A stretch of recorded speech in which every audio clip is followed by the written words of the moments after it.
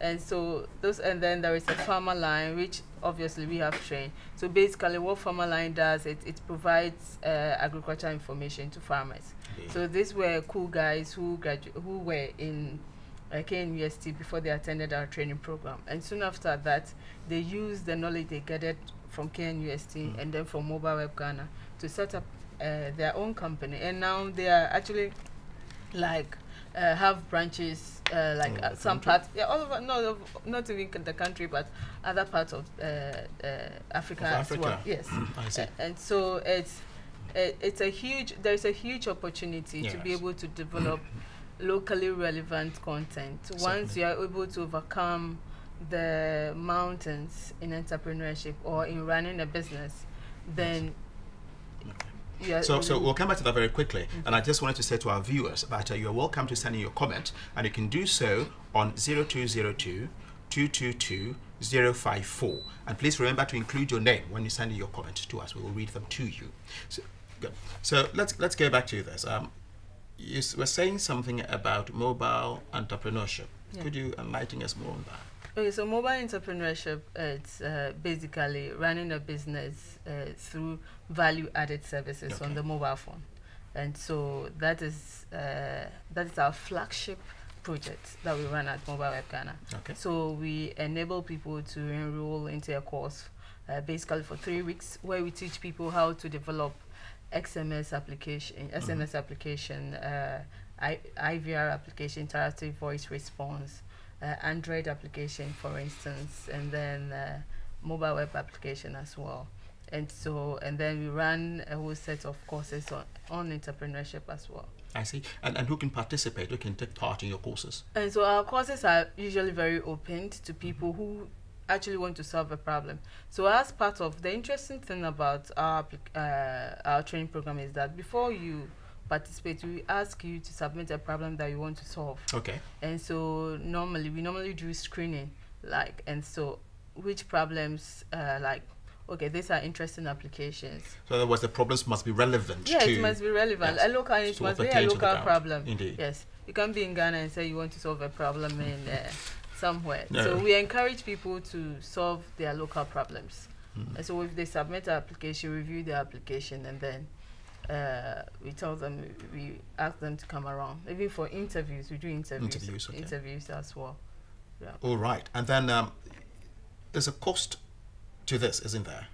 Yes, uh, now there is a cost, but Okay. previously there was no cost because it What was funded. Yes, Okay. it's changed because, of course, there's a whole new dimension to uh, being able to sustain a project when it's running. Mm. Initially, uh, the project was funded by Vodafone UK, Okay. and so and it's run for a period of uh, two years. yeah.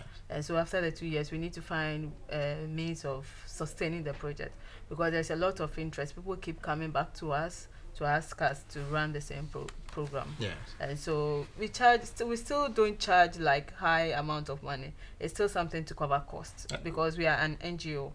Okay. So it's still something to be able to cover costs and to be able to sustain the organization.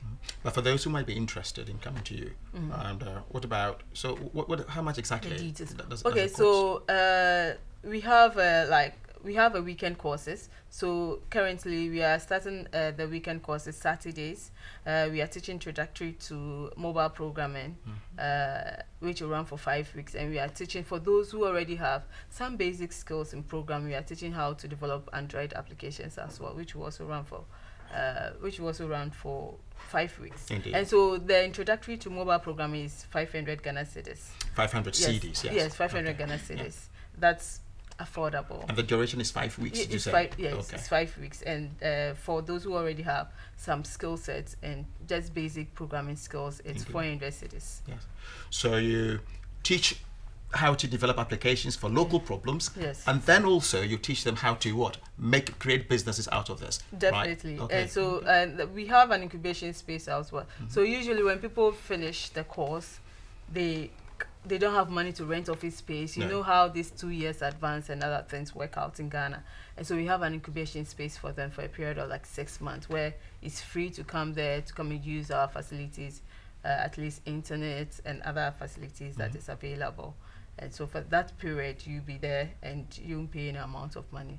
and that period is a grooming period for you to go to industry. If there is a need to link you to the industry, somebody will do an introduction as well. Mm. So uh, usually during our training program, we bring expert people who have started their own businesses Okay. Yeah. to With come and yeah, to, yeah, with experience to come and tell you what people are looking out there and what customers are willing to buy and some of the applications that have been successful as well.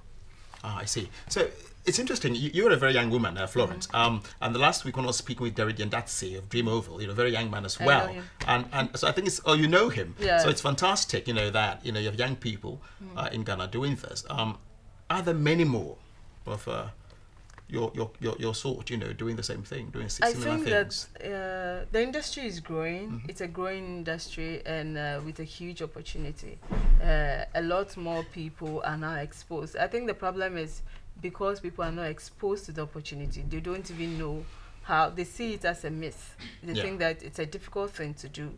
But now a lot more people have the opportunity. At least since people are using WhatsApp and then uh, Facebook, you can give them instances that do you want to develop this kind of application? Then they can think through and see if it's something they want. Indeed. But those days there was absolutely absolutely nothing, and so uh, now the message is all around. Even if the message is not all around, they are they are using some applications, Mhm. so you they can can see encourage- and yeah, feel and feel and see. Oh, this is cool. Oh, I can also do this. It's not uh, it's not that someone outside or a foreigner. no. It's that you have the capability to be able to do it if you want to do it. Yeah. And and you think that there is a space for you know the tech There is a things huge like this space. going There's to a the future space. in Ghana. There's a huge space, and there are other uh, institutions facilitating this space as well. So Mm. it's a growing space, and uh, I will encourage a lot of the youth to go into it. Indeed. And so apart from now, Vodafone UK Mhm. is no longer funding you. Yes. Is it? No. Yes. So so you, you generate your own funds, is that right? So that's it. We generate our own funds. Mm. It's locally generated Locally funds. generated.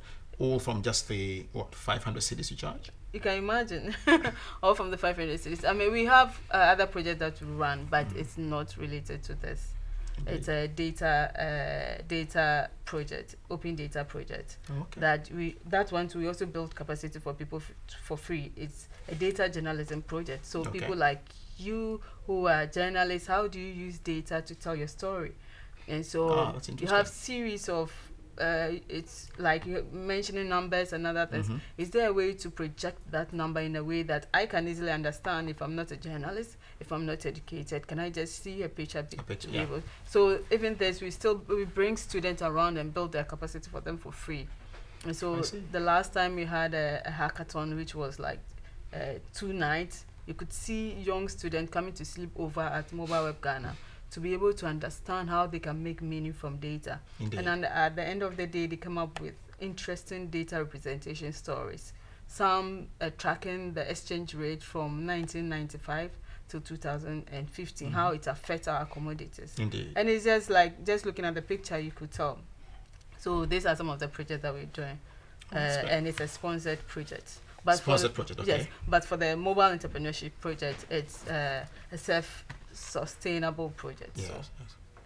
Florence, thank you so much for coming in. It's been Thank you. wonderful talking with you, and we hope that you'll join us again in the future to Thank you. continue this conversation. Thank you Yes? very much for having me. Good. And thank you so much for watching. We'll be right back after this break.